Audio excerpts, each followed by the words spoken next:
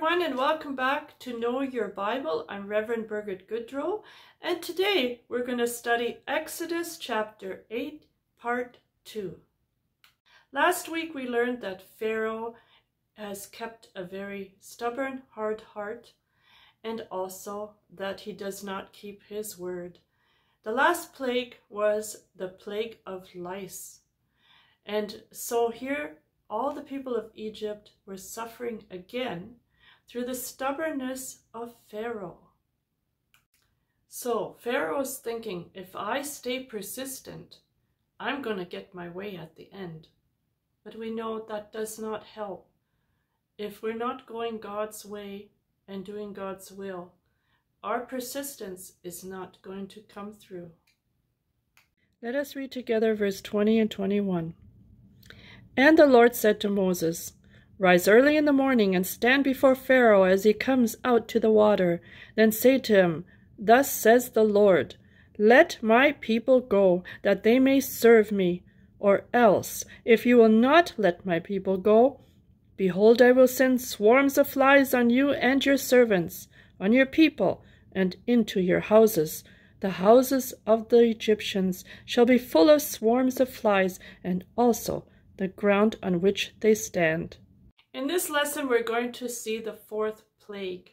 Now, I want to tell you that I do study with Dr. Baruch Korman, and he translates the Hebrew Bible into English. And the words in Hebrew for the fourth plague are not flies. The, the plague is wild animals. In some way, it does make sense. Why would it be flies after having the lice all over the place. What do what purpose are the flies? So this is what Dr. Baruch Korman says. We're going to see this fourth plague, and let me share with you that this fourth plague is, is controversial. Because in most English Bible, they look at this word ha-arov, which they translate as flies. Now, it's a problem because we have a Hebrew word for flies, zivuvim. But this is a different word. It is derived from a Hebrew word which means a mixture. Now, we will learn when we get into Exodus chapter 12 that there will be a mixed multitude that comes out of Egypt, both Jew and Gentile. And this mixed multitude is made up of a variety of nations and peoples and languages and such.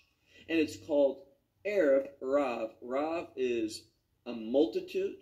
Erev here is, is mixed. It comes from three Hebrew letters. We see the Ein, Resh, and Vav. Veit, excuse me, Ein, Resh, and Veit. Now, what's important here is that it simply is a mixture and what I would say would be wild animals. So when you look at it from how Judaism translates this word, it's a mixture of wild animals that come into the, the nation of Egypt. Not just into the, the grassy areas and the outdoors, but also inside into the very homes and residence, stores, what have you, throughout all the buildings. And we'll talk more about that.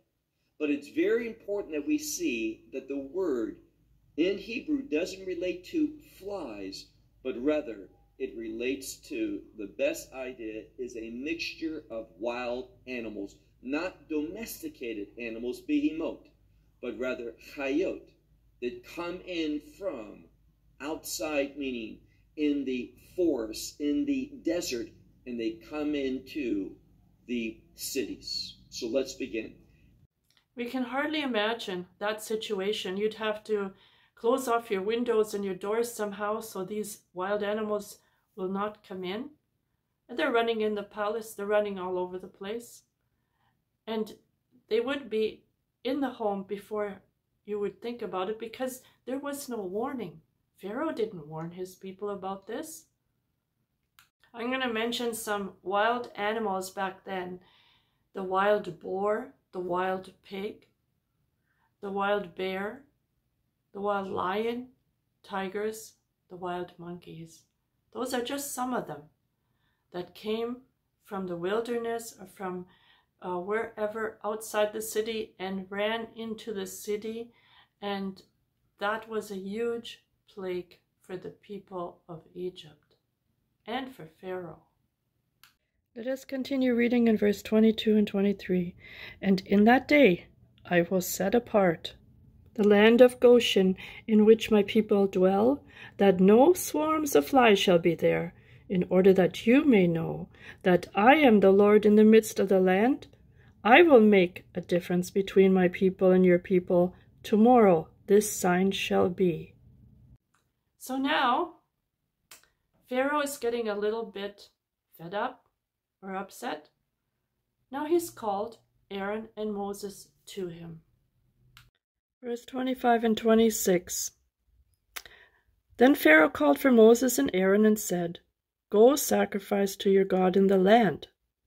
And Moses said, It's not right to do so, for we would be sacrificing the abomination of the Egyptians to the Lord our God. If we sacrifice the abomination of the Egyptians before their eyes, then will they not stone us? Let's think a minute of the time that the people were living in Egypt in that city with Pharaoh. He had his statues and gods that the people were commanded to worship. It was an abomination for the Jewish people to worship God. So they had to, in their secret place and in their home, pray and worship to God. In verse 26, it even mentions that it is an abomination to worship God out in the open, and that the people of Israel would be stoned because the laws in Egypt give the people the right to stone anyone that does not worship the gods of Egypt.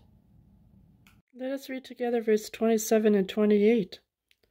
We will go three days' journey into the wilderness and sacrifice to the Lord our God, as he will command us. So Pharaoh said, I'll let you go, that you may sacrifice to the Lord your God in the wilderness. Only you shall not go very far away. Intercede for me. Even though Pharaoh seen and witnessed the power of God, he still did not want to give in, and he still didn't want to send the people out to worship God in the desert. Let us read verse 29. Then Moses said, Indeed, I am going out from you, and I will entreat the Lord that the swarms of flies may depart tomorrow from Pharaoh, from his servants, and from his people. But let Pharaoh not deal deceitfully any more in not letting the people go to sacrifice to the Lord. After Pharaoh had his meeting with Moses and Aaron, Moses interceded for Pharaoh and the wild animals they left. We're going to read the rest of the chapter, verse 30 to 32. So Moses went out from Pharaoh and entreated the Lord. And the Lord did according to the word of Moses. He removed the swarms of flies from Pharaoh, from his servants, and from his people. Not one remained. But Pharaoh hardened his heart at this time also, neither would he let the people go. I know I mentioned that we are privileged to live in this time and these days that we have the freedom to worship God and also the freedom to do His will. But times are going to change according to the revelation, and I want to read a little quote from Dr. Baruch Korman. So, in the very last days before Jesus returns, this is what's going to happen. It's going to be something like what we read is ha has happened in Egypt. And here it says, We are never going to be approved by others in the last days. We will see in the last days it will be an abomination to worship God, just like it was in Egypt back then.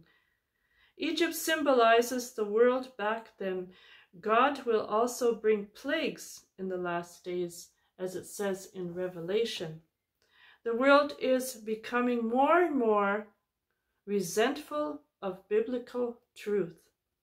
The world says you're being offensive.